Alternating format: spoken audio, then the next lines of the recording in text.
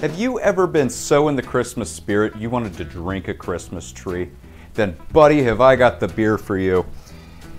Short's Brewing Juicy Tree tastes all the part of Christmas. It's brewed with spruce tree ends, cranberries, and juniper berries.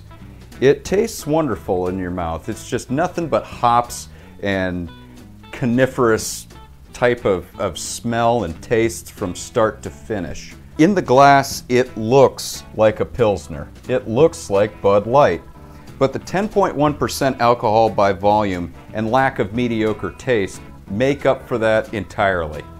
With all this being said, I have to give this a 5 out of 5 in my review here.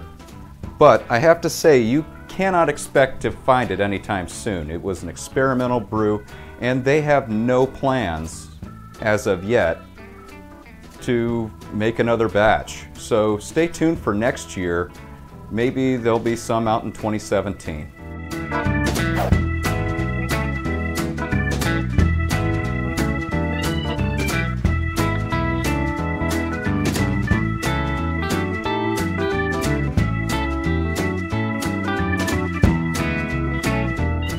Special thanks to my buddy Dave from work for giving this to me as a Christmas present. I mean, it's not every day you get to drink something that is an experimental. I greatly appreciate it.